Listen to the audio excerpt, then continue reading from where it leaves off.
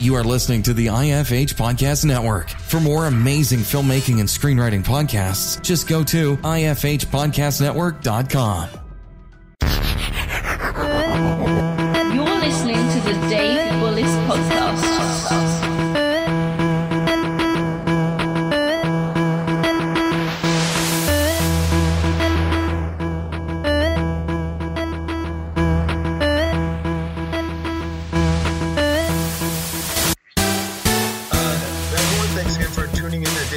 Podcast. With me today is Kelley Baker.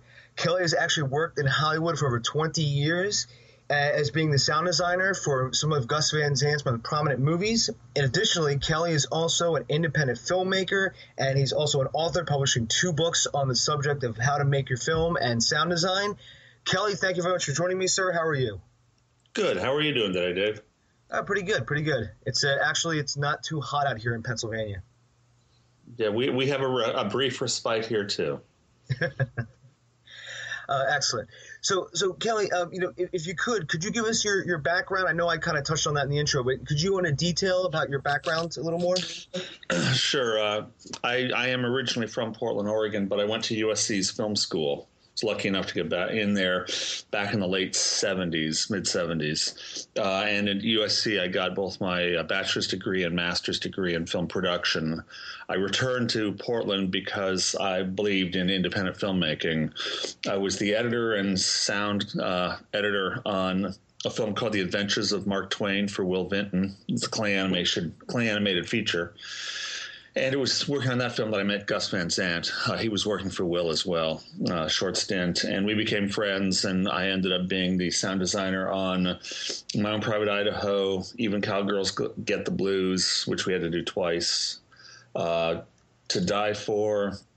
I'm trying to remember all these now. It's early in the morning, right?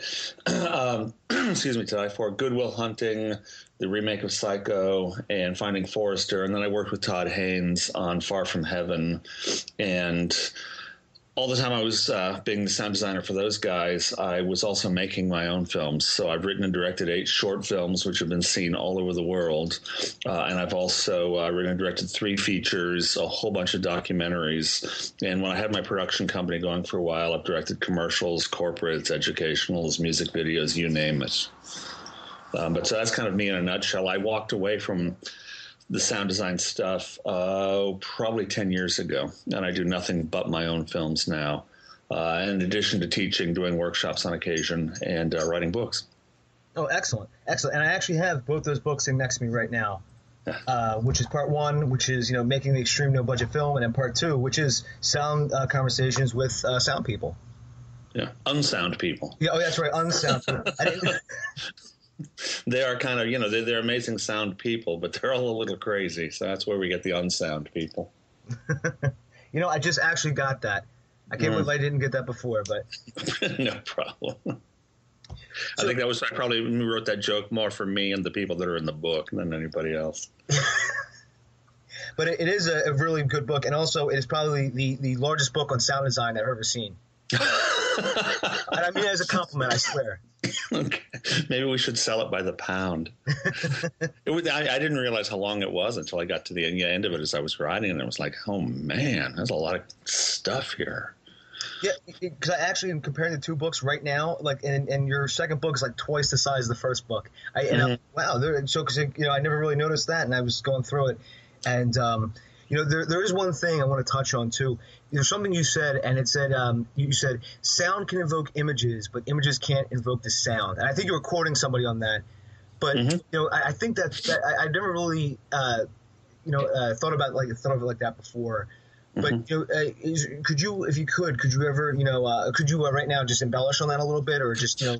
well, sure, and I think that it's Gary Rydstrom, the sound designer, who said that. Um, don't quote me because I can't remember, but I think it's Gary. he and I had this dis- had this discussion, and kind of well, what I like to say is, you know, if someone very close to you passes away, uh, how do you want to remember them? Would you like to remember them with a photograph, or would you like to have a recording of their voice to remember? And I think if you have the recording of the voice, it brings up all sorts of other memories. and all sorts of other visuals, if you will, about the time that the two of you spent together, hung out together, whatever it was. And it can be funny, it can be sad, but listening to someone's, uh, recording someone's voice, does bring back all sorts of images.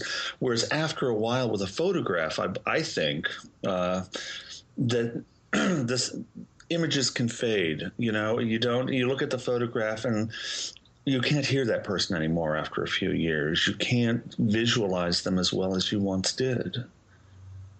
Yeah, that's pretty interesting. Yeah, yeah, and you know, I, I talk to a lot of students or a lot of filmmakers all the time, and you know, and ask that very same question. And Gary does too. You know, which would you rather have? And interestingly enough, most filmmakers who you know claim to be visual people uh, all say, "Well, God, I'd like to have the the voice recording." Uh, and, and I think that sound can take you back to places. Uh, in your life, I mean, we've all been watching something, and a particular song comes up in a movie, and boom, you know, we're right back to, you know, it, it, creates all sorts of emotions inside of us because of our memories with that song. And, you know, something else you said um, uh, kind of resonates with this also is that, you know, uh, people will tolerate bad uh, uh visual, but they won't tolerate bad audio. Right. um, you know, I still pull out, you know, the Blair Witch Project or films like The Celebration, the Danish film, which I think is brilliant. Um, and, you know, they're handheld, there's no lighting. I mean, they look like crap. But people watch them and they're glued to them. And part of it is because you can understand everything that's going on. And I think that when you go to a theater and you're watching something, and this is probably back in the old, old days when we actually projected film, you know, if the projector was out of focus or whatever, you went in, you complained, they focused it, they backed up, and they showed it again. But if you went in and the sound was all garbled, you walked out and you wanted your money back. Mm-hmm. And I think that that's that's an interesting uh, thing. But you know, if you can't, if, if someone cannot understand the dialogue in your movie, you're screwed. Yeah, I actually made my uh, my student film. I you know I, I, I don't have a major. I didn't go to school for film, but um, I, I actually shot a student film, and one of, and I just had a bunch of random filmmaking books to guide me along. Mm-hmm. And one of the things that I made sure to do was I, it, it, was one of those throwback, corny parody movies, so sure. to speak. And uh, as I learned when showing rough cuts to people, is always got to make sure the audio is good. And even when I use like the special effects or when I was doing like um, you know Foley sound or whatever, mm-hmm.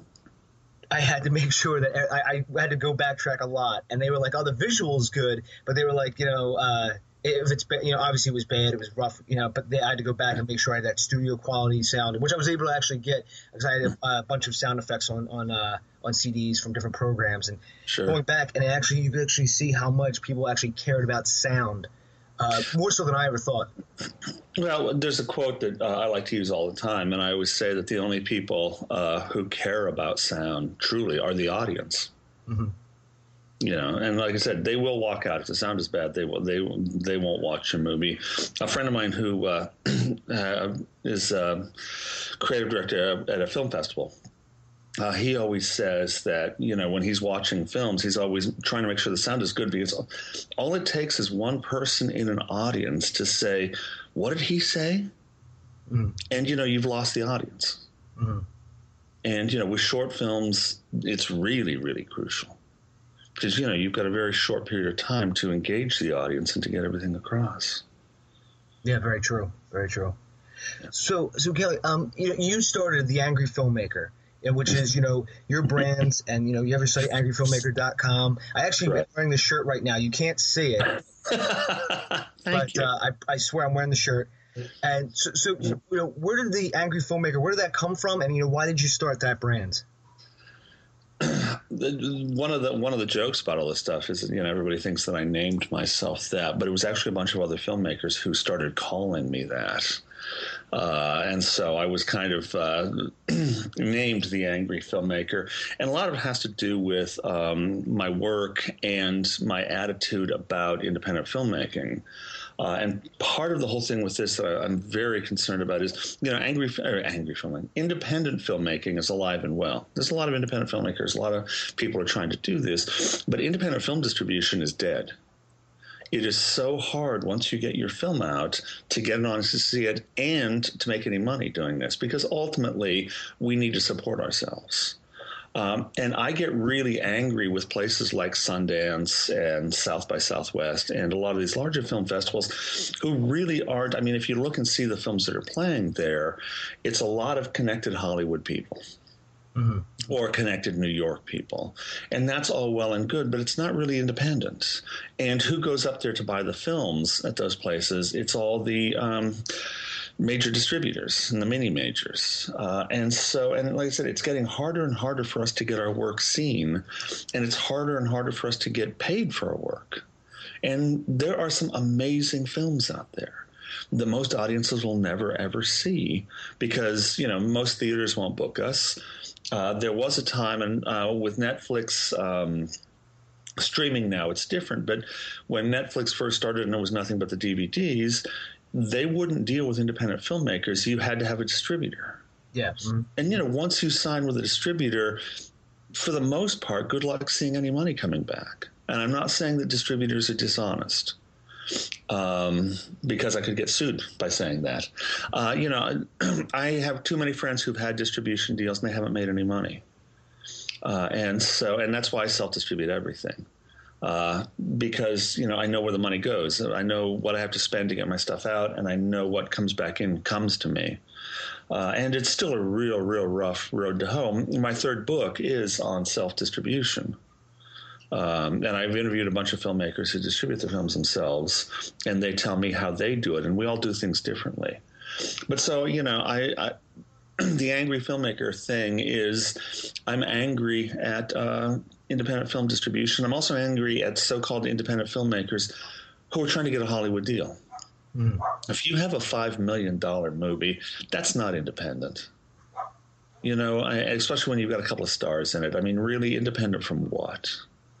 Uh, and so, you know, I rail out here against uh, phony independence, and I rail against you know not being able to get our work seen in a lot of different places. It's changing slowly um, because I've been doing this for 15 years, being angry. uh, you know, so it, things are changing, and uh, Sundance now uh, finally has a little section up there for films that were made, I think, under a hundred thousand dollars, and that's about fucking time. You know, if mm-hmm. they want to call themselves independent, they should have done that years ago. Yeah, yeah, definitely. Um, you know, I just had uh, Elliot Grove on last uh, podcast, and he uh, runs Raindance Mm-hmm. And uh, you know right. that's what, what his, actually we were discussing too was how much money should go into it versus you know if it really is a truly independent film. Oh, excuse me, right. if it truly is an independent film as opposed to uh, you know the, the guys who come in like oh yeah this costs you know twenty million bucks. Right. So uh, so that you know and Elliot was awesome and uh, made a lot of good points because you know. Yeah. Film festivals now, as you see, when they you know when they start, they usually have certain you know goals in mind, and then then they gradually evolve to like, oh, now we just want you know this type of film or that type of film. Right, right, and the whole that whole thing is interesting. And Raindance is a great festival because they do really look for films that you know are small budgeted uh, and all. But there's a book out on distribution uh, that I won't mention the name of the the fellow who wrote it. Um, but part of it is you know he talks about you know he got his film into this big film festival, so they immediately spent fifteen thousand dollars to hire a publicist well, shit, man. Who's got fifteen thousand dollars to hire a publicist, especially after you've got after you've gotten your film made? You know, mm-hmm. I mean, a lot of us have made our films for thirty, forty thousand dollars or less. I mean, I've got two features that I made for under ten thousand. Where are we going to get fifteen thousand dollars to hire a publicist just to promote at one film festival? Yeah, you know that's ridiculous, man you know, and uh, in your next book on, on, on distribution, uh, mm-hmm. are you going to cover crowdfunding by any chance? Well, it's on. I'm going to talk a little bit about crowdfunding, but since it's on distribution, uh, my angle on crowdfunding will be to get money to distribute the film. Okay, yeah, that, that's not, but not crowdfunding as a whole thing because yeah. that's that's a whole book. Yeah, well, yeah, I just thought if you tie it in because I, I, know I, I, some some of my friends who are filmmakers have actually done that. They've actually done Kickstarters or Indiegogo yeah. just distribution and making the right. uh, if they don't if they do decide to actually make a Blu-ray or DVD or just go all digital. Yeah. But uh, but yeah, that, that, that's you know that's great advice. So you know, Kelley, just to transfer into your first project, which was Bird Dog, Yeah. and you know, could you take us through that whole process? Because again, the theme of, of this whole month September for all the film uh, filmmakers on this podcast is you know making your your, your movie and focusing on really making your first film. You know, could, could you take us through that through Bird Dog when, when you were first you know at the beginning, which is writing the script?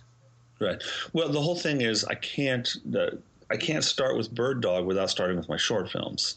Okay. because I wrote and directed eight short films before I made Bird Dog, and to me, this is this is the important key. I needed to learn how to make a film and to keep an audience engaged. And too many filmmakers want to jump straight into making a feature. They make a feature, and it's a lot harder than anybody thinks. Uh, but the film, the feature doesn't turn out well, and you know you've spent money, you've had friends help, you know, I mean, on and on and on. So, I always tell filmmakers all the time: start with short films. And uh, my first, uh, and my whole group of short films, I think nothing was over seven minutes in length. Um, because by doing the short films, I concentrated on the writing. I concentrated on how much can I shoot in a day, how inexpensively can I do these, and how many locations can I do in a single day. And all of those truly helped me when I finally made the switch and jumped to uh, making a feature, which was Bird Dog, the first one, um, because I knew my craft better because you know we have to remember that filmmaking first and foremost is a craft and the more you do it the better you get. Uh, and so when it came then i had you know all these films that had done well in film festivals uh, and had been shown on television stuff but i had all those behind me when i finally said okay now let's make the feature uh, and, and, like I said, I can't emphasize enough to you and to other filmmakers start with short films. I know we all have this feature, and the features are glamorous. Start with short films and really learn what you're doing and how to put a film together. Because it's really hard to entertain an audience or to keep an audience for 90 minutes or 100 minutes it's also really hard to keep an audience for seven minutes, 10 minutes, 15 minutes. Uh, so practice, practice, practice, I guess is what I'm saying then with Bird Dog, for me, it all started with the script. And before I even started casting, I had written 13 full drafts of the script. And then I started casting, and I think we did, I did probably another four or five drafts between casting and finally uh, finishing the shoot because I was even rewriting on set when you find out there's things that go your way and things that don't. Um, but make sure that your uh, script is airtight it won't be, but make it as airtight as possible because that's writing the script is the cheapest part of making a movie. And if you don't get that right, you know, then then you're going to be in trouble, truly. But I wrote about something that I knew, and I wrote about places that I knew because I knew I could get those uh, locations. We didn't pay anything for locations. I made a donation at the old folks' home, at the old folks' community center. I made a donation uh, to the center. But for the most part, all the locations were places that I knew and places that I knew I could get. Um, I shot that film in 35 millimeter uh, back in the old back in the old days. That was 90, 1998, as I recall. Uh, and you know, my last feature I shot in digital video. So financially, there was a huge difference. Uh, I think I spent twenty eight thousand dollars just on film stock. Now that doesn't count processing it or transferring it or any of that stuff. It's twenty eight thousand dollars just to buy the film stock, and I only had so much film. Uh, and so I really, really had to know exactly what I was shooting for every scene. Uh, and one of the things that I do with uh, my films is I rehearse like crazy. I will, with the features, I would rehearse for probably two to three months before we'd start shooting. Because it's, as far as I'm concerned, I want the actors to know everything they need to know before they even set, step on the set. So we rehearsed like crazy and i knew with the budget that i had i couldn't afford to you know i could do take three and that was probably as crazy as i could get. If i couldn't get what i needed by take three i'd have to move the camera and try it from a different angle whatever it was. But so i had i had to be very very disciplined with how much i could shoot for each shot which meant that my dp and i we I can't draw for shit, um, but we would do uh, lighting diagrams and shot lists and that's how we did everything. And we had a list every morning. This is this scene and we're going to do this this and this. And these are the different shots. And the organization on a feature is is has to be pretty phenomenal. I mean, we shot for 18 straight days, not straight days. We took well one day off a week, but so it's three weeks of shooting, and every uh, the night before uh, each day of shooting, you know, we gave the cast and the crew the. Uh, the forms that said this is what we're shooting tomorrow, this is where it's going to be, so everybody knew ahead of time, you know, what was going on, what was happening there, and then organizing because I had Bird Dog was the biggest film that I had done. I had a cast of 28 and a crew of 30. Since we were shooting a film, I had two five ton trucks. One had all the lighting and grip equipment with a generator, and the other five ton had all the camera equipment. Uh, and so it was like moving around a small army. So there was just a ton of coordination the the great thing with that is that we were so well organized, you know, the actors were so well rehearsed that we could move quickly on the set. And if someone came up with an idea, hey, what about if we try? We had the flexibility, we could do that. Uh, and especially if an actor gave me a performance uh, that was a little different than what we'd been working on, and then it's kind of like, you know what, let's follow this a little bit farther. Um, so I think the whole thing with Bird Dog was truly that uh, it was all about the organization and the script, uh, and I think that that's why that film did so well. So now, when you for your team, so when you were planning this out, how many actual crew members did you have behind the scenes? Meaning, like, did you have a unit production manager, or did you have uh, like a producer helping you along, or? Yeah, I had a producer uh, with that, and since I had been making commercials and doing some other stuff, you know, I knew all the crew people in town. So um, we did have two uh, production managers. Is that right, two? No, we had one production manager. I'm sorry. Was, we had two on the other film. We had one production manager. We had the producer. We had an associate producer. And then, you know, we had, I mean, because we were shooting film, camera and grip was huge uh, as far as people. And uh, you know, set uh, my set designer, my uh, wardrobe person, props. I mean, you know, so it was, it was a lot, a lot of stuff. But yeah, 30, 30 people was, was, you know, when I originally set out and thought I'm going to make my first feature, what I had originally thought about is I'd probably shoot it in 16 millimeter. It'd be me and three friends in the back of a pickup truck. And somehow this thing just kept growing until, you know, it became what it was. So, you know, when when you finally cemented the script in, how did you know when it was ready to start shooting? you know, it just it felt ready, and with all the rehearsals and everything else, the actors, it, it felt like it was making sense. And, I, and here's the deal with it: I felt the script was ready, but even then, we started shooting, and things come up in the acting, and things come up, and so I was rewriting on the set too. And the interesting part about the film is, you know, because your film is never cemented, truly, your film, your your script is never finished. We got into the editing room, we cut the film together, and the ending just petered out. The last big scene just didn't work. It started off like gangbusters, and then it just kind of took a nosedive. And I thought, well, wait a minute, it read great, it acted great. I mean, everything. But when I put it together in the editing, and I brought a friend of mine up from LA who's also an editor, we went, a guy I went to school with, and he came up to look at my rough cut, and he spent about a week fixing up my my rough cut and, and working on that because I did the first three cuts of the movie, and he just did the, the polish.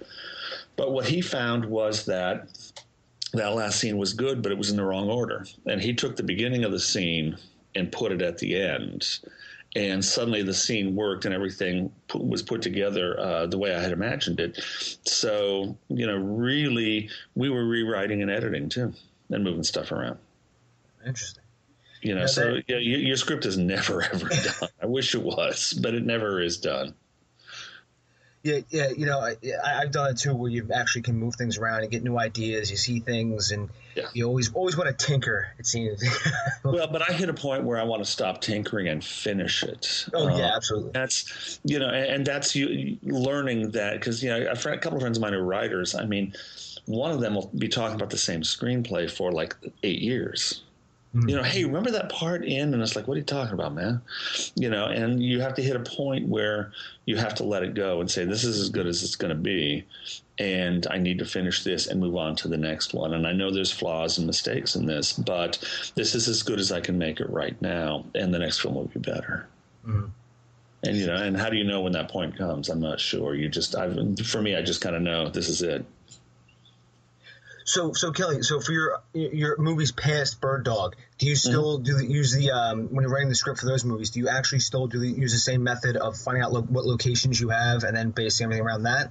Oh God, yes. Okay. uh, and part of it, I mean, the Gas Cafe, uh, my second feature, all takes place uh, in a bar, mm-hmm. and uh, the reason it all takes place in a bar is because a couple of friends of mine own a bar, and they let me have it for nothing. We shot at nights after they closed. We had about an eight-hour window every night we could shoot. Um, and so I couldn't have made that film because we made that film for uh, what have for about five thousand uh, dollars, less than five thousand.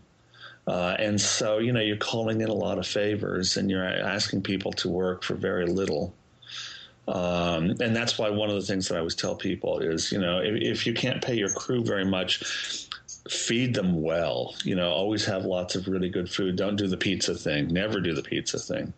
You know, but feed everybody and respect them and make sure that they know. And I keep all of my days on set to somewhere between eight and 10 hours. I have never shot on my features, I've never shot over 10 hours in a day. You know, that's uh, actually a very good tip, by the way, because uh, just because I we've all seen the 16 hour days and the yeah. 18 hour days, and it's just it just kills your crew from a mental and physical standpoint. Well, and you know, I'm directing, and it kills me too. Mm-hmm. you know, I mean, it's and you know, you see the effect it has on the actors. They're not as sharp. The crew, you know, and people are are moving slower, and so your setups are not as quickly and everything. Now, I'm really hardcore about the schedule and making sure that we can get everything done in eight to ten hours. Uh, and like I said, knock on wood, so far, uh, I've been very lucky uh, with that. And, and, one day, I think we might have gone ten and a half, uh, but I apologize like hell to everybody on the set, uh, which they all thought was pretty funny. So, so the next phase uh, after you know after you wrote the script for uh, for um, Bird Dog mm-hmm. is you have to start creating the budget.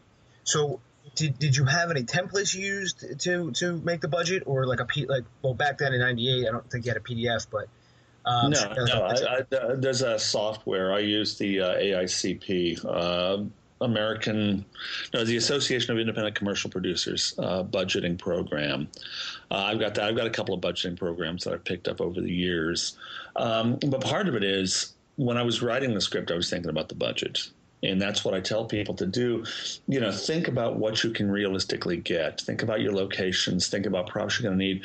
And, you know, one of the very first things that I do is, like I say, my I make sure that I can get the locations that I've written for, uh, and then I send out a. Uh, back in the day, it was phone calls and letters. Now it's you know mass email to my friends saying, "I need these props. I need this. I need this. I need, you know, do you know anybody that has these sorts of things?" But I, I try to always write for things that I know I can get because that keeps my budget down. Uh, the the big thing that I was not expecting with Bird Dog, I was not expecting to shoot 35 millimeter, but I got an awesome deal on a 35 millimeter camera package, and then uh, and, and, you know then I talked to uh, the Fuji representative and got an awesome deal on the film, and on and on and on. And but there were times when I was working on this, thinking I don't have this kind of money, and and basically I had a couple of uh, small investors, but most of it was I, I used the money uh, that I made off of Good Will Hunting. Uh, and the remake of Psycho to finish it. Uh, and that was a huge mistake because I ended up owing the government all sorts of money as far as tax stuff and it led to you know all sorts of other things going on where eventually I had to sell my house and everything I owned to pay off uh, the IRS.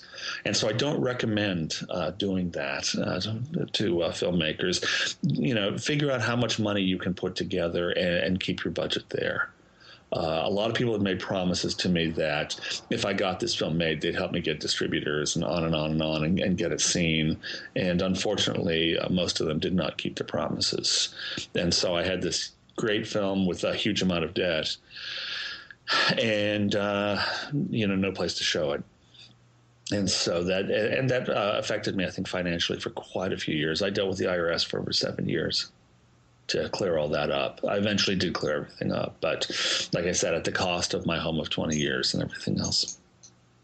Wow, uh, that I mean, yeah, that, that is a story, Kelley. Uh, that is uh, pretty brutal. Um, It, and it was brutal at the time. Uh, you know, uh, my daughter was pretty upset when I sold the, the house and everything. But, you know, as I told her, and she finally gets it now, uh, you know, it was um, a house is just stuff.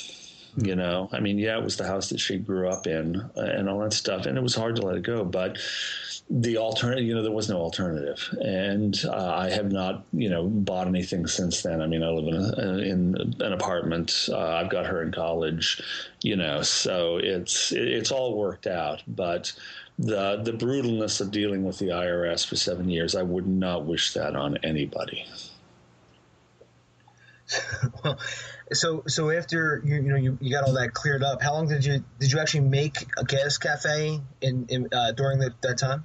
Oh God, yeah. I made both Gas Cafe and, and Kicking Bird during that time because part of it was I was so frustrated. I was going crazy. We had a ton of screenings uh, with Bird Dog. I uh, had screenings in L.A., New York, and and I tell people, you know, remember I was a sound designer on all these big hotshot independent films, so I knew all these people, the distributors and you know they would look at it and say nice movie and you'd never hear from them again. Uh, and so that was frustrating. The uh, distributors that i love dealing with we dealt with a distributor up in toronto who loved the movie uh, but said you know th- we don't know how to market this because there's nobody in it who's famous. You're not famous. You know what the fuck do we do? And the, the british um, distributors were the same way. God, we love this movie, an American film about class and racism, and and with a good story. But we don't know at this moment how we can distribute it, how we can promote it. Uh, you know, and I had my own answers. Oh, you can do this, you can do this, but they kind of look at you and say, you know, you don't know anything. You're just a filmmaker, which is why I now self-distribute my films because I think that I have a pretty good handle on who my audience is and what I'm trying to do. Mm-hmm.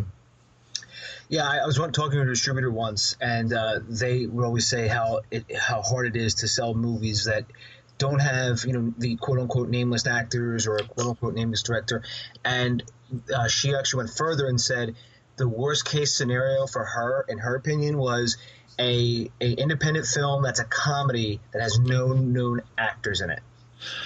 Yeah, I mean, and comedies I think are kind of hard to sell anyway. Um, but this whole notion that you have to have known actors, you know, then you start saying, well, what about Blair Witch Project? What about El Mariachi? What about Clerks? What about? And they always hit you with the same line. Oh, well, those are different. Well, how are they different? well, they just are. And so it can be done. Part of it is, I think distributors have gotten lazy and you know you give them a film and it's like oh great there's three famous people in here. I can build the whole campaign around them. Mm-hmm. but if it's a really good story if it's a really interesting story well God, I, you know how do we how do we build a campaign around that? And from what i understand the blair witch guys had their whole website and all that stuff together before the distributor came along. Mm-hmm and the distributor just kind of jumped onto their website, you know, and the whole idea of promoting this as a documentary. Uh, uh, and, you know, so from what I understand, it was the filmmakers that came up with that whole thing. The uh, distributor saw that it was working and they, and they grabbed it. Yeah, I, that's something else I've also seen today is that a lot of distributors want a lot of work done already mm-hmm. in place so that way they can just sort of, you know, walk in and say, oh, well, you've got 90% done, you know. Right and another, so, you know, something else I've seen too is uh, in, in, projects they sort of get a one named actor, and right. they pay that person for one to two days. Yeah. And then all of a sudden you see them on the box cover of the DVD case. You see right. them on the poster, and you know, uh, even you know, friends I know who around, around here have done the same thing, and they use that one person to promote the movie, and then you you watch the movie, you're like, wait, she, you know, he or she was in it for like ten seconds, and that was it. Well, that's the whole thing with uh, that goes back to Godzilla. You know, the original Godzilla. It's got Raymond Burr in it, and if you know if you watch the original Godzilla, you'll see that Raymond Burr is rarely in frame with anybody else mm-hmm. because they only had him for like two days, and they shot all that stuff after they'd shot the movie. Mm. Now, you know, truly the the movie is all about Godzilla, and so Raymond Burr is pretty much, you know, who cares? But at the time, I think they thought, well, we need a, an American actor in this thing, uh, and and that was what late fifties, early sixties. So you know, it's there, there, There's always been that feeling that the public people don't want to see a movie where they don't know who it is, you know, who the stars are. But then you have these films that come out all the time that don't have name stars that are good films and do well. What's happening is you know, as the distributors and everybody have gotten bigger and bigger, they've also gotten lazier. Mm-hmm. And so it's much easier, as you, you know, as we say, to promote that one actor who's in the film for 10 seconds than to actually set up, you know, a distribution plan that has to do with story. Uh, with my third uh, feature, Kicking Bird, it's about a kid who runs. It's about a lot more than that, but running is a central theme in the movie. And so when we finished the movie, we went out and appealed to runners magazines, runners websites, all these people, because it was, you know, running was a, such a prominent thing in the film, and that's where our audience was and runners found out that it wasn't really a film about running it was a film about friendship and you know all sorts of other things. And so they told friends. But our first two write ups were Runner's World and Runner's Gazette. And Runner's Gazette actually um, had two people uh, review it. So they had two separate reviews, uh, and they were both great. But so, you know, that one started doing really, really well off the website because runners were like, we want to see this movie about running. And so, uh, you know, I tell people, figure out who your audience is while you're writing the script and then go after that audience. You know, with Kicking Bird, there are somewhere between three and four million serious runners in this country. I mean, people who take it very, very seriously. That's a great audience for a small film. If you can tap into one or two percent of that, you know, you will make your money back. And and we did. We did really well with that film. Oh, great! I, will have to check that out because I'm because as you know, right now I, I just have uh, Bird Dog I will. I'll, I'll, send you the others. Oh, thank you. Don't worry about it, man. I'll send it to you. oh, thank you. You know, yeah. and, just you know, uh, as we were talking about Kelley, with casting, you know, uh, as we are talking about, you know, named actors and etc. You know, how did you cast for Bird Dog? Those are all actors who do a lot of theater, and actually, some of them. One of the fellows uh, is now in uh, uh, the uh, the TV series Grimm. Um, but these are all actors, local actors that I knew. Uh, none of them are my friends. I always tell people that, uh, except for the uh, the guy who sings the opening. That's my lawyer. Um, but uh, for the most part, I see a lot of theater. Mm-hmm. And because I love theater, but I also love theater actors because they're concerned about their craft. They're concerned about becoming really, really good actors. Uh, and so, and I know a couple of uh, theater directors and casting people now and so when I write a script, but now uh, after Bird Dog, I write uh, uh, scripts for uh, roles with certain actors that I know in mind. There's a few people in uh, Bird Dog that have been in all my films. Oh, excellent. Uh, yeah, but uh, you know, I tell filmmakers go see theater, go watch plays, look at the acting, look at the actors. You know, most of us don't have friends that are good actors, and so don't put your friends into a movie if you can avoid it, because you know you might think that they're hilarious, but will an audience think that they're hilarious or good? And also, we've always seen where you put a camera in front of them, and suddenly they're not so hilarious anymore. They they wouldn't. They they freak out. Yeah, well, and it's they can be funny in a barroom setting or a cafe, whatever it is. But now you have to give them lines. Now they have to read these things, and you know they're, they're they can not do it. A lot of them. I mean, there there are some certainly who I, I think can get away with it. The other thing is, you know, I appeared in all my old short films because they were about my life. Uh, and they were kind of pseudo documentary things, although they were written. But um, I would never be in any of my features. I do not, uh, you know, and I shouldn't say that, never. But I love actors. I respect actors. I am not an actor. Mm-hmm. And I know my limitation. And how do you direct and act in something? I mean, you know, Woody Allen gets away with it and a few other people, but most people are not that good we're not that you know we, we can't be doing wearing 15 hats at the same time and be good at all 15 yeah uh, there was an acting uh, teacher i was talking to and he always said how do actors you know because if an actor ever makes a movie they always inevitably cast themselves in a role and he said how do they actually check what was going on? Do they actually have to run behind the camera and then see the playback right. monitor and run back into the into frame? And yeah yeah i'm, I'm totally with you, and it's and it's it's I don't like um, directors who uh, shoot their own stuff too, who do P- DP their own stuff because I have shot, I can shoot, but it's really hard to, to, you know your job when you're on set as the director is only one thing and that's getting the performances out of the actors. All the technical stuff the lighting all that other stuff should already be in place. You know you have a crew for a reason and you shouldn't be moving lights around. You should you should be excuse me with the actors talking with them and making sure they're ready for the performance. Mm-hmm. Uh, and so to be to, to, try to check that you know you're keeping people in frame and the shot looks good and all that stuff and direct. Um, I just I I don't see it. I don't see people doing a good job of it for the most part. There are exceptions, of course. Uh, and everybody who's listening to this interview are going to think, yeah, I'm the exception, you know. uh, and, and, like I said, I would never shoot. Uh, you know, I've shot a lot of uh, my documentary work, uh, but for the most part, usually with documentaries, I'll roll sound and have somebody else shoot so that I can ask questions and be the location sound person. And that's just for docs. Mm-hmm. So, so obviously, as you said before, when you were casting, and as you go to the next step, which is you know you're you're now getting ready for production. Mm-hmm. You know, obviously, you said you, you rehearse with your actors a lot, so that way when you know you finally get on set, you know we have time now.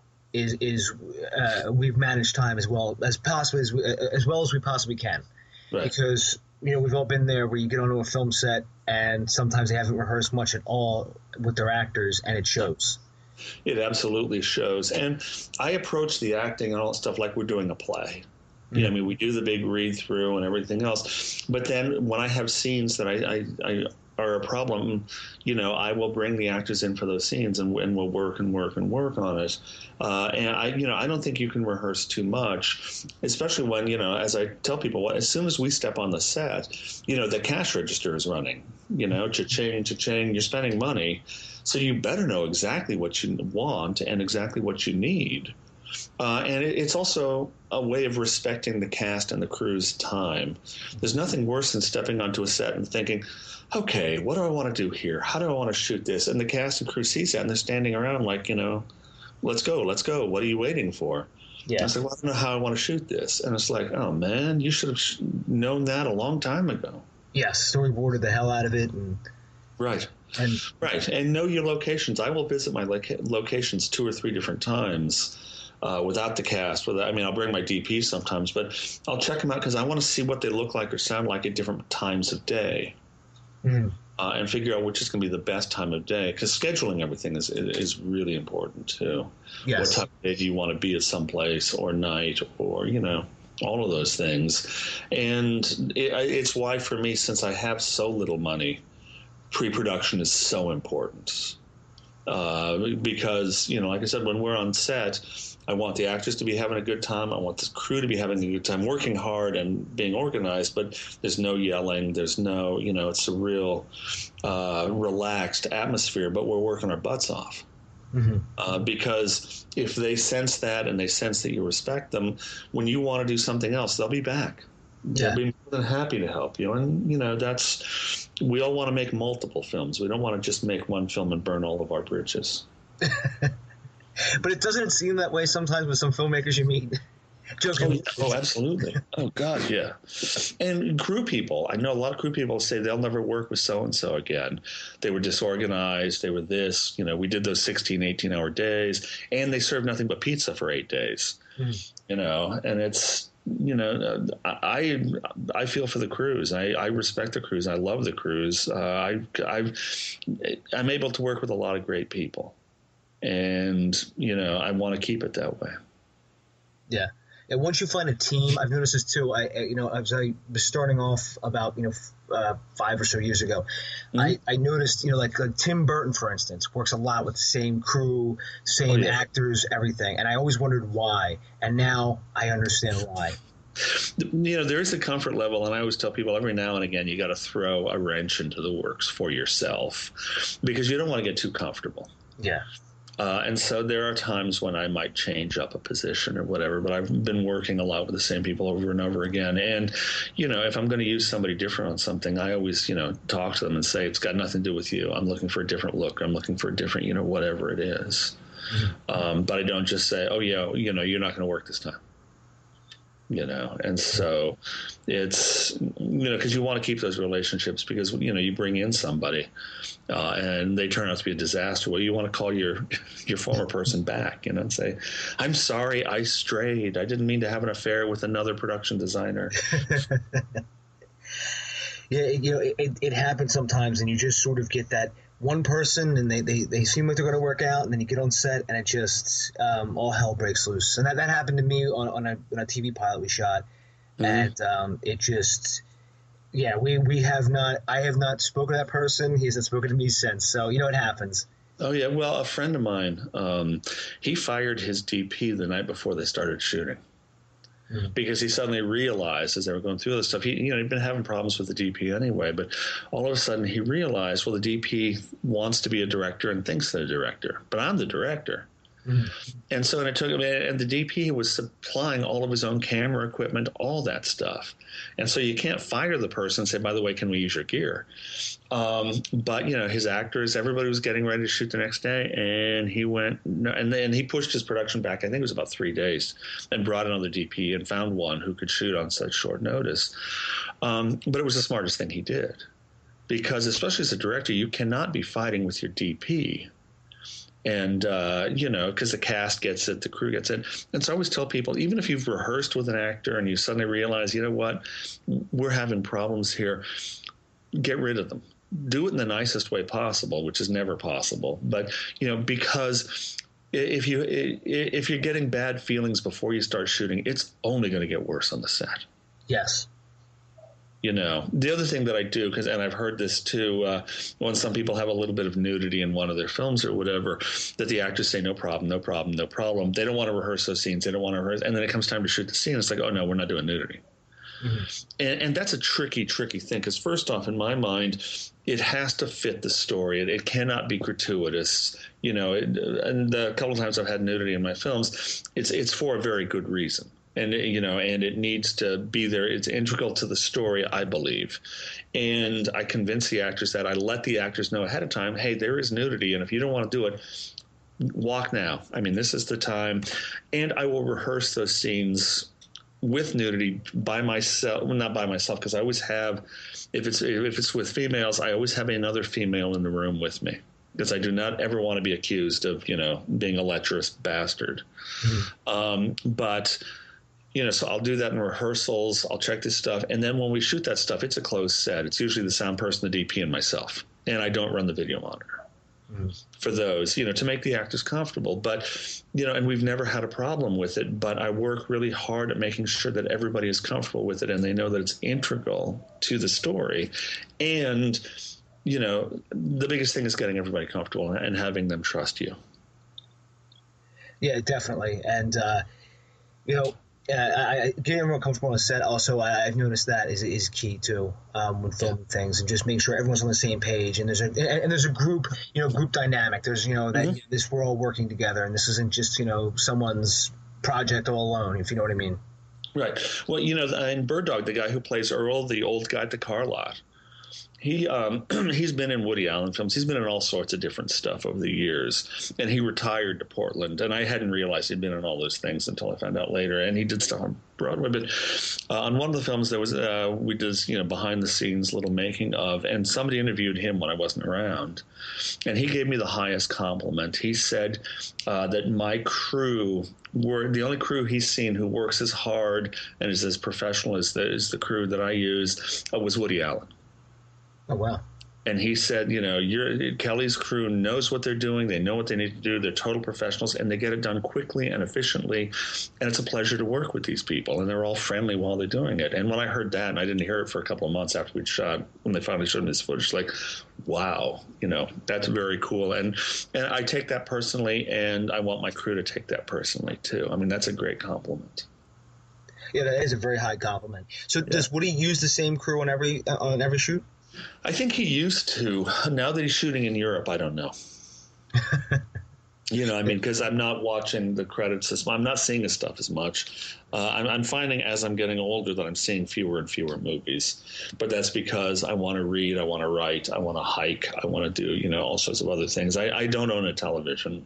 You know, I can watch. I stream Netflix uh, for films, and I'll go to the theaters. But, you know, I just uh, when you hit a certain age, you want to just keep working and work. I, I, think I'm doing more work and enjoying my life in other ways, and uh, and and watching movies when I want. But like I said, television, I, I just I've never been all that interested in it. Well, you know that that's actually becoming the norm. Is that people are moving away with less from TVs and just either having computers or tablets or your phone because you can watch everything on there.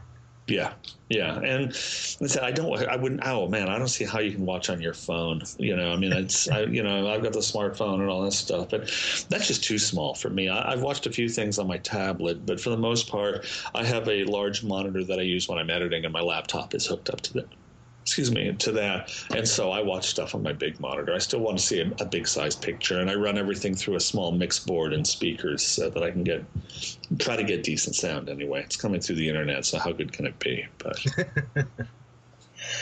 So, so uh, Kelley, you know, what was your, you know, best day on the set of, of Bird Dog, and what was your worst day on the set of Bird Dog? Just, just for you know, for for experience yeah. purposes, you know what I mean? So that things that have taught you, you know, right. lessons. Um, you know, they, they, were all great days. Uh, and part of it was because it was such a new experience. You know, you never get to repeat making that first film. Uh, and so, yeah, I guess one of the problems we had one day uh, and, it, and, it, wasn't a, a, worst day by any means, but it was. Um, I noticed my producer and my production manager and the assistant director were huddled up talking constantly, and I come over and say, "What's going on? You don't need to know. You don't need to know." And it's like, "Oh no, I need to know. This is you know this is my movie. This is I need to." And finally, one of them said, "You know, we're shooting that scene in two days at the bank, and the guy you cast to play the bank guy uh, isn't available. He's he's in L.A. He's." Uh, doing some casting work or auditions or whatever, and he just called us and said he can't be here in uh, in two days, and to rearrange the schedule, uh, and he can come back in like ten days or whatever. And so we have to rearrange the schedule to work around his. And I said, really?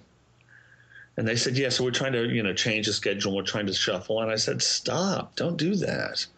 And I was like, but he was the. And I said, well, no, he was my second choice. This was my first choice was a was an actor who couldn't make it on the original time we were going to shoot. Call him see if he's available in two days to do the scene because I really wanted to work with him and he really wanted to work with me.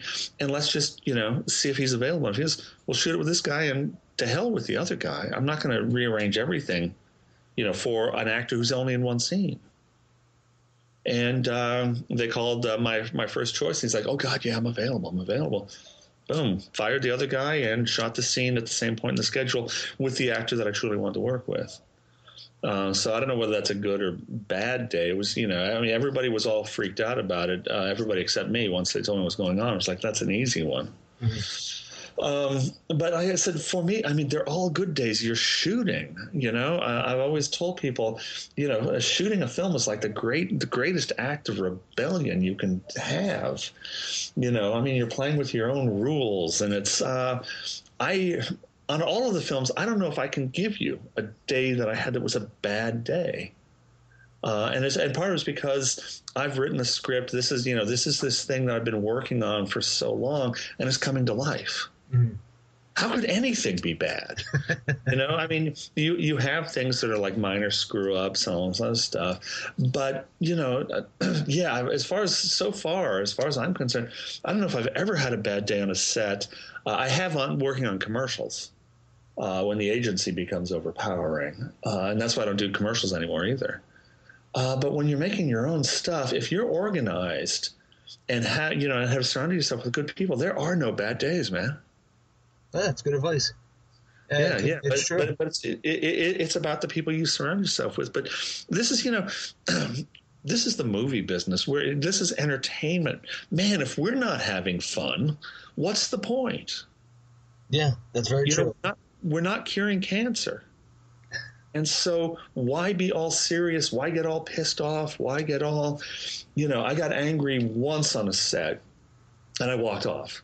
And part of it was because everybody was, you know, the, the, people were working and doing all sorts of stuff, but they weren't setting up the scene the way I wanted it set up. And I kept saying, no, that's not what we want. That's what, but for whatever reason, nobody was listening to me. And so I just walked away. And I went and got a cup of coffee on the corner, and some of the AD finally finds me. I was like, where, what are you doing? And so I'm waiting until everybody gets everything set up, and then I'm going to go back in there and tear it all down because this is not what I wanted. This is not what it says in the script. This is not, I don't know what's going on there. And the AD felt so bad. He felt like he failed mm-hmm. because he had the crew working on all this other stuff, but what he had them working on was not my vision for the scene. Mm-hmm. And so we walked back up there, and everybody's like, oh, God, he's mad. He's mad. And I was like, no, I'm not mad. It's, this is how I want this. Now let's do this And so there was no tension on this. I mean, there might have been some tension when I turned around and walked away, but I, I knew I had to walk off the set. Otherwise, I was going to get mad. And, you know, as a director, you should never lose it on the set. If you lose it, then you've lost control of your set. Mm-hmm and you can't you cannot lose control of the set. I've seen advertising people blow up, and I've seen some directors who yell and scream, and that's just not me. But when they do, it's like then the crew fears them. Mm-hmm. And you know, and, and people don't work as efficiently, or they work as fast as they can to get the hell out of there, and, and that's not conducive to doing good work either. I mean, you know, there is um, you know there is a chain of command and you know as the director and, and since i'm also my own producer now um, you know I, i'm at the top of that chain uh, but i want people to respect and listen to me not be afraid of me mm-hmm. Yeah and, and yeah that's a good point because you know we've all seen the director who screams and yells and uh, yeah. yeah and then you know generally then it's just sort of that starts to wind down too if you know what i mean and then eventually yeah, and then uh, I've seen crew who've just generally seen a director yells and stuff like that, and they generally finally they, they just sort of stop listening to him at, at all because right. they, do, they, they do the job well, he yells. They do the job bad, he yells. So right. what, what you know why even bother? What's the point? Yeah, absolutely, absolutely. And you know, the other thing is, I you know, these are ultimately a lot of the crew members and stuff like that. They are my friends. Mm-hmm you know the people I've worked with for years, and, and even if they're not my friends, they're my colleagues. And I want them to want to continue working with me. You know, and so and like I said, it's it's all about and I and in the first book I talk a whole lot about treating the crew with respect having them in on some of the decisions or making sure that they know what decisions have been made you know, so that everybody's on the same page all the time. And if you do that and feed the crew well and, and genuinely, like I say, respect them, they're gonna they're gonna work their asses off for you. Mm-hmm. You know, and and I still help out friends on other films too, and uh, and then mostly I'll help out in post. And I've done sound design for a lot of friends of mine who don't have a budget for sound, but they've been helping and supporting me for years. And yeah, I'll, I'll do the sound on your movie, no problem. You know, and I'll, and I do it a lot of times. I shouldn't say this, but a lot of times for my good friends, I, I you know, I've done the sound on a bunch of films for for nothing, mm-hmm. uh, and it's because these are people who have been so, so, supportive of me over the years. That how could I not when they're asking me a favor? I've asked them favors. Why, why wouldn't I help them out? Yeah, I mean that that is incredibly generous, you know, and that's good about creating relationships and now um, yeah, and it's funny because I don't look at it as generous at all. I mean, I look at it as you know you're you're paying them back, you're paying it forward, you're paying you know whatever it is. Um, you know, you just it, it's you know it, comes back to that whole thing: treat people the way you want to be treated. Mm-hmm. You know, um, so yeah, like I said, I never look at it as generous. I look at it as what's the thing? It's what one should do. Mm-hmm. Uh, that's a great attitude to have, Kelley. I mean especially an independent film. You know, we got to help each other out. Big time. Oh, big time. And, and I said, you know, when I've seen people have been working on their films for years and, you know, they're this close to getting it done, but they can't quite get this. Well, I don't have any money to give them to help them, you know, get it finished. But what I do have is, you know, some expertise. And so a lot of times if I can help with that, then it's like, boom, yeah, let's go for it. Mm. And, and, you know, um, just, you know, as you took um, uh, uh, I'm sorry, it's a bird dog. Sorry, no problem. So as I get bird dog, you know, as you finally finish shooting that, mm-hmm. you know, you know, how did you try to distribute that? I know we touched on that a little earlier, but how did, could you go about doing all that? Well, the, the, the, deal with Bird Dog, which is different than the other the later films, was that I really thought I was going to get a distribution deal because all these friends had said they'd help, you know, and they were all well connected. And when we didn't get a deal, I mean, Miramax sat on my my only print of the film for uh, six months you know, we want to look at it. We want to look at it. We're real interested. We're, we're real interested. But, you know, shit, after about three months, if you haven't seen it, you're probably not that interested. And eventually, you know, I asked them to send me the print back, and you know, and I was told by, oh, you're making a big mistake, and it's like, no, it's been sitting there for all this time. They're not excited about it. They're not all, you know, they probably asked to see it out of an obligation because they knew me from Good Will Hunting and all that other stuff. Um, but basically, what I realized is that I was going to have to set up my own distribution thing around that, and then around Gas Cafe, which came uh, two years later. Because I spent a year trying to get a distributor for Bird Dog.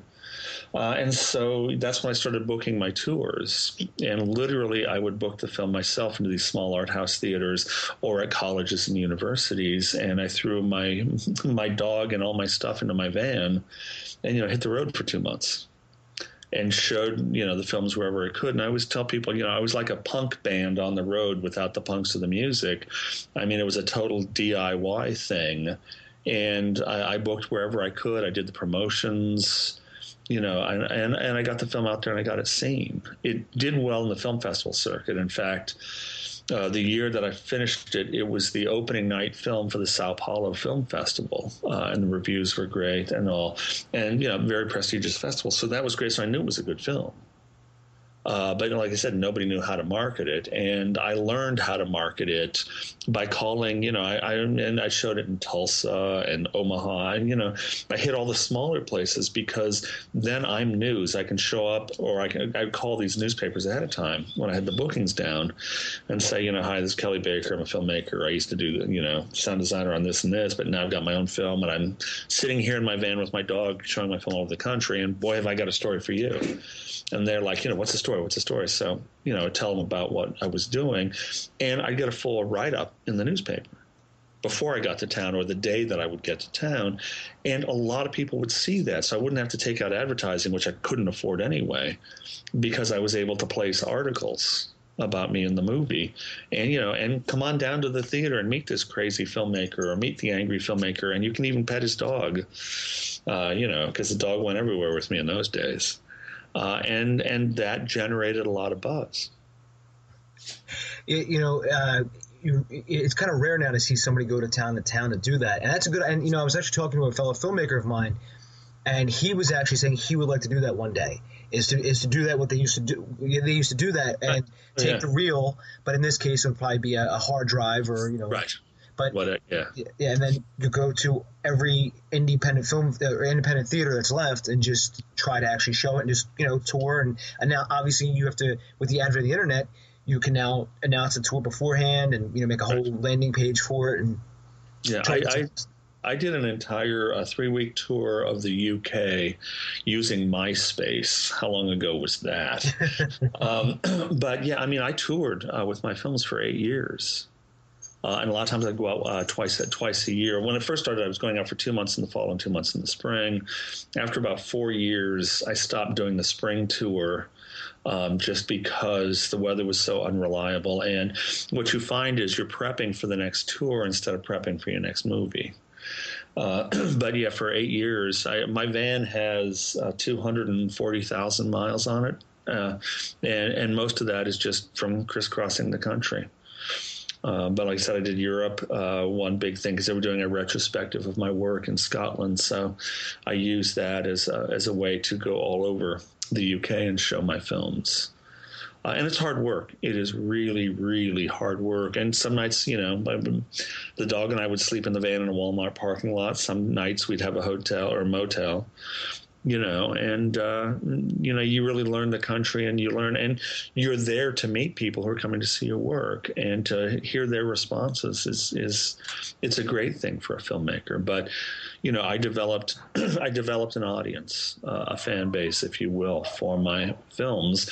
But as i used to say you know i played shows where four people would be there or less and then i would do shows where there'd be 50 or 60 people uh, and, and, the biggest thing is, and I always tell people, I do the same thing for four people that I do for 60 or 100. You know, you just got to keep, you know, and you give it all every night when you're out on the road, which is exhausting. Mm-hmm. Um, but I learned so much about promotion and marketing. And, you know, I have a huge following you know, luckily for me, I have a huge following now on the internet. But so much of that was I would have internet sign up sheets at all my gigs. You know, here, give me your email address. Uh, and, I promise you, yeah, and I, and I, and I, you know, I say, I promise you, I won't sell, you know, the email addresses, and I won't hit you with a bunch of spam. You hear from me every couple of months about whatever it is that I'm doing, and you know, I built up a huge, huge list that way. Um, yeah, and and that's that's the new thing now. Even with you know social media, it's it's great, but having that email address is key. Yeah. and and always looking and then you know, and and there's always different plans to how to actually you know promote yourself, get email addresses to you know parlay into something else. Um, you know, I, I usually get about an email a day from Mm-hmm. some, from a seminar or somebody just saying, "Hey, I'll show you how to make a marketing funnel online." Right. You know, all that stuff. So Yeah. Oh but- yeah. but Oh, yeah. but, I mean, I, I exactly what you mean, Kelley. Now, now with um, with with Netflix and you know even like YouTube now, because YouTube is Right. even changing, and where they want to have you know a paid service or even like a tip Right. jar, so you can show it if you actually put your film up there. Right. Uh, Vimeo is doing the same thing. I'm trying to get. I've been trying to interview someone from Vimeo for my uh, new book, and they just will not return my emails. It must be the uh, finger that's my logo. You know, kind of turns them off. but uh, yeah, you know, it's but Vimeo is doing that. I think it's two hundred dollars a year as a flat, and you can put your films up there and and you know use PayPal and and all that stuff. Yeah. Um, there's a lot of great things now, and I'm looking for you know what is the new interesting thing, what is the new way to you know to get your work out, um, and I'm always talking to other filmmakers about that. Because you know technology changes all the time, and I am not an expert in any of this by any means. You know, it's all been trial and error, um, and uh, and I'm always trying to learn. Well, I think you've done a pretty good job because I mean, you got the books, and you know these books are actually very good. Yeah. Um, you know, and so, but you know, you, you can never stop learning. You always have to keep learning something. Absolutely.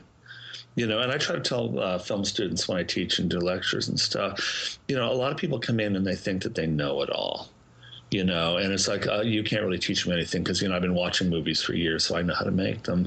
And I try to tell them, I've been doing this for over 30 years and I don't know it all. So how could you? And if you say you know everything about this stuff, and you know, then to me that's like, okay, you've stopped learning, which means you you you probably can't tell me anything that I don't already know. But you're not pushing yourself, and you're not growing as an artist. And ultimately, I like to think that I'm an artist, and I always want to keep growing. I always want to keep learning. I want new experiences. Uh, that's crucial for because that comes out in your work. Yeah, and yeah, and, and you know, uh, just just you know, going around, you see how many different experiences you can learn from from other people, and you know, how all the new and and now with the ever evolving uh, technology of filmmaking. You know, you always have to learn something new now. Whether it's a new camera that's coming out, whether it's a new editing system, because Adobe now, their whole system is on the Creative Cloud now. So Yeah. Uh, Oh, yeah. yeah. And, and like I said, I don't, you know, I'm still running mass quantities of hard drives and all that stuff because I don't want to put my stuff up where it's hackable. And it's not to say people can't get into my hard, computer and go after my hard drives. The cloud just frightens me a little bit, you know, because I feel like you don't have any control of your stuff. And, you know, we're already hit with piracy all the time. Uh, and, and, and so, like I said, you know, maybe I'm paranoid, maybe I'm old fashioned, um, but I'm not ready to surrender to the cloud. Um, you know, and I use Dropbox and I use all sorts of stuff like that. But right now, like I said, the majority of my work I still keep on these hard drives, and the only time the hard drives are plugged into the uh, my computer is when I'm actually working on something. Uh, and so it's you know they're not just plugged in all the time you know 24 7 i unplug stuff to the computer all the time. And, and like i said maybe i'm just this paranoid freak. Um, but you know i'm just I, i'm i'm just and i hold the copyrights to all my work you know and, and that's what i will tell filmmakers is don't give your stuff away. If a distributor wants to sign you you need to have a commitment from them that they're going to spend money and truly promote your film. They're not going to give you any money because they don't do that anymore. But you want to know what their budget is for promoting your film. You want to know where they're going to send it who they're going to go after.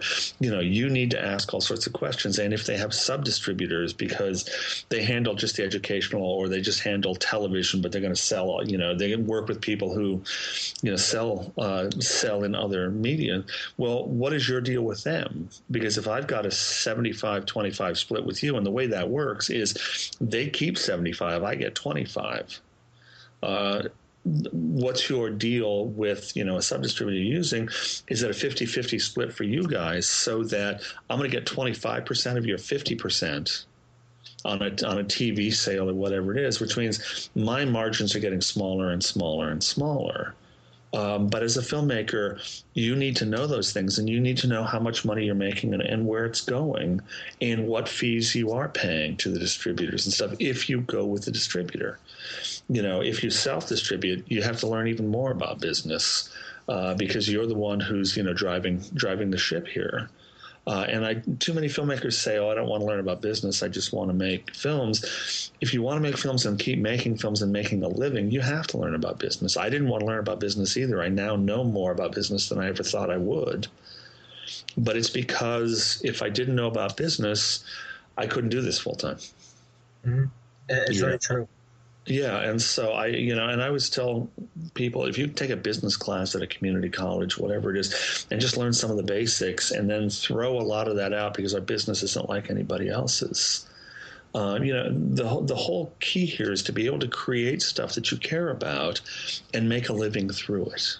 And I'm not saying get filthy rich. I'm saying make a living. You know, I'm not rich by any means, but this is all I've done for 30 plus years and uh, you know it's been a, it's a it's a great fucking lifestyle. You know i've got a kid in college. I you know i'm able to pay all the bills. You know can i go and retire tomorrow? No of course not. But then again you know people say when you know when are you going to retire? I would say well listen if i retire how do i want to spend my retirement? I want to spend my retirement you know writing books and making movies.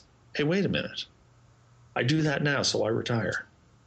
Mm-hmm you know but um, it's learn learn as much as you can about the business of filmmaking if for nothing else then you won't get screwed that way or you get screwed less often uh, you know i mean truly you know i still get screwed on occasion too uh, because there's always new wrinkles to how somebody wants to you know get your work or whatever but you know, retain the copyrights to all your work. Don't give that stuff away. And if you're going to sign a contract, it has to have a time limit and there has to be, you know, and they always want to do these well, and it'll automatically in seven years roll over again unless you say something in 90 days, uh, you know, within 90 days. And it's like, well, then I need to be able to know when that 90 days is occurring because if I'm not happy with you, I want to change the parameters. Mm-hmm.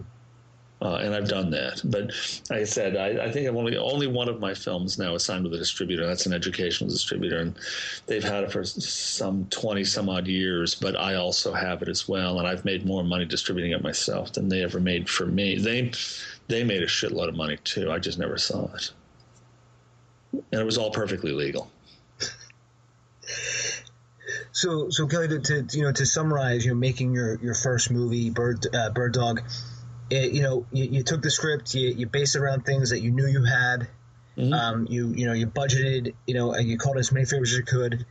Um, you know, uh, to, to actually shoot the movie, or sorry, and to cast it, uh, you know exactly you use theater actors, um, yeah. and then obviously to um, to shoot the movie, you, you did you know everything you can. A lot of planning was involved, and yeah. the distribution, you know, basically, you know, you, you try to take it out and self distribute it and show it at film festival. So. Um, you know, just to anyone taking notes, because I, I, you know, just to summarize. Uh, We've been talking about a lot of stuff, man. Yeah, just to summarize everything. Yeah. So, uh, you know, Kelley, you, you, you, know, we spent over an hour together. I know you're busy, and I don't want to take too much of your time. Uh, so, but I do want to touch on one thing: is you have uh, two books now. Your two books that we were talking about are being translated to Chinese. Yeah, pretty cool, huh?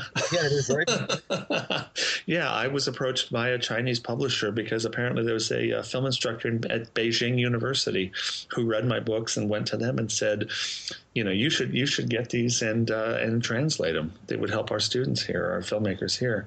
Um, you know, the, the, books have been a wonderful thing because, and I, and I'm really honest about this. I think the opening line in the first book is what is it? It's uh, I'm the poster boy for bad decision making in the independent film world.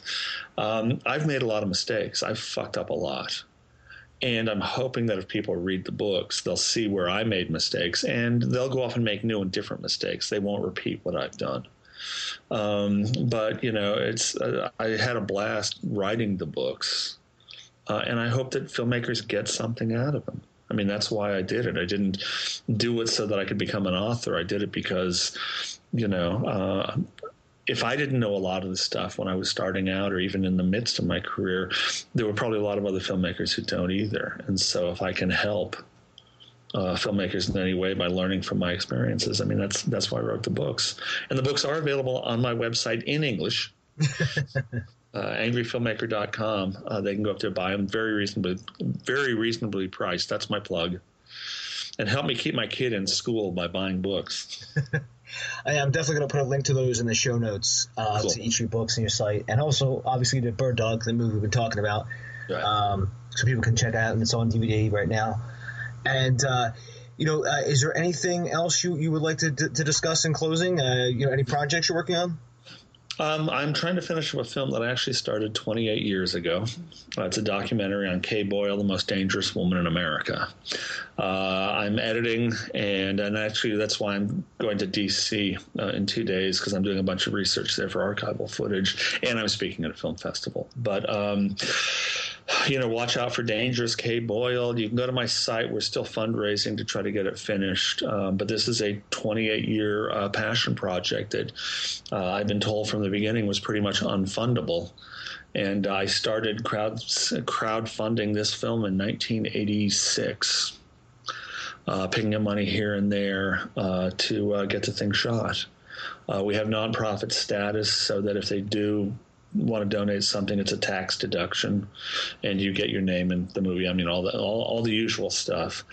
Um, but I think my advice to filmmakers and, and, everybody out there is, if this is your passion, if this is what you want to do, don't let anybody talk you out of it.